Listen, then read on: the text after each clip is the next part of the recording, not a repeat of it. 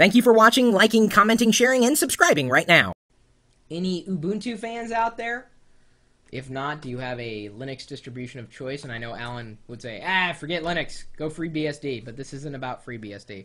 Although it is kind of funny because Allan, uh, who is uh, the guy who created the chat applet on our website, live.pirillo.com, uh, he, uh, as well as other things, he's also our system administrator, teaches FreeBSD courses in, uh, uh, well, in a, at the university level, I believe, in, in somewhere in Canada. I don't know if I can say exactly where. Uh, but someone today recognized him for his involvement with what we do here with the video and the Ventrilo and the talking tech.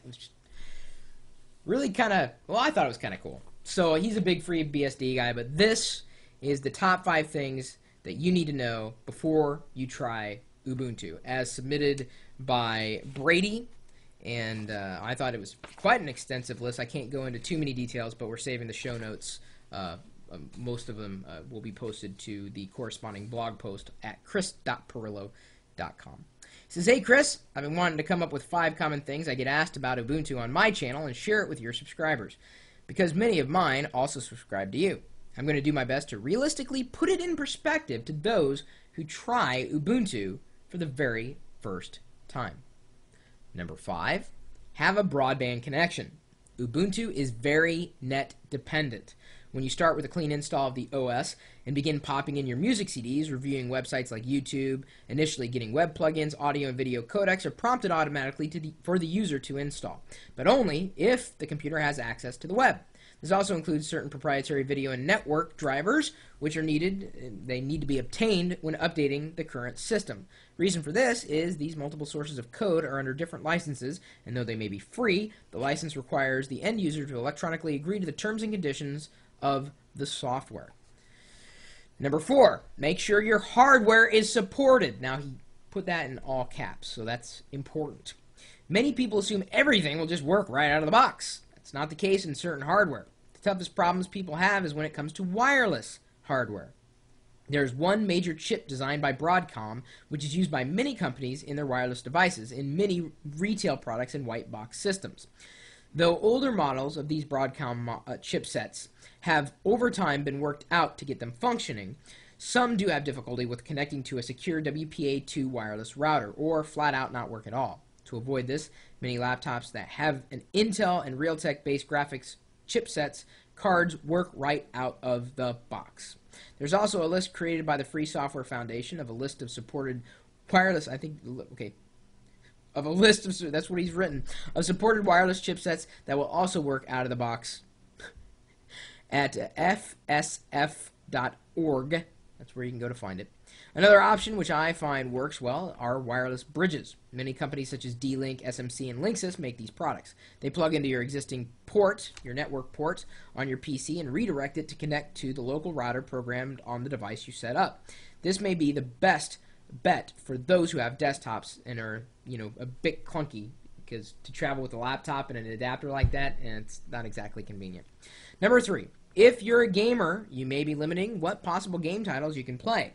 There are a slew of games for Linux that are free, and there are certain commercial game titles that you can play using Wine. There is, though, limitations on what may work under Wine.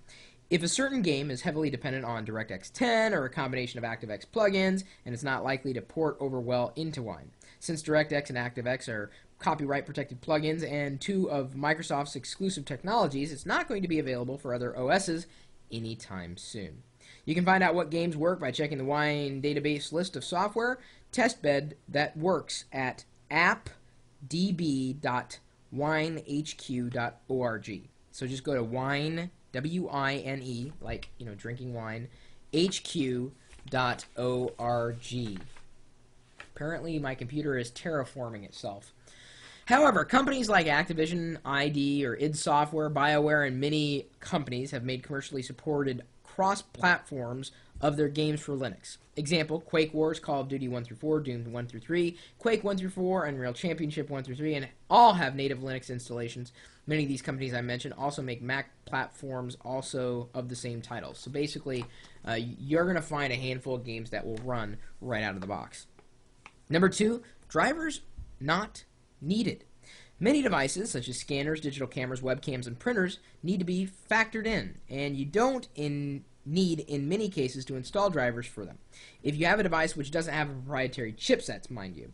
Ones I know just work include Logitech webcams, uh, di- certain digital cameras, TV or FM tuners, uh, printers, etc. Now, this is where you want to go to find out if your devices are compatible. LinuxCompatible.org. Number one, just buy a pre built Ubuntu supported PC. Instead of second guessing on everything, you can just buy a full complete with 30 to a year of tech support, 30 days, I think is what he meant to write there, from the following vendors that support Ubuntu tested hardware. I, Dell slash open or Dell.com slash open, Zar Zareason, Z A R E A S O N dot com, and System76 dot com.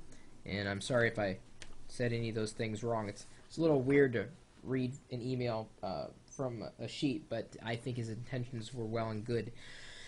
Um, yeah, Ubuntu I think is here to stay. I think it's going to see uh, out of all the Linux distributions the most amount of success on the desktop. I don't know if it necessarily makes the best gaming OS, uh, for Linux, but I'm sure everybody's going to have a different opinion. Uh, we've talked about that in another video we recorded with the community today.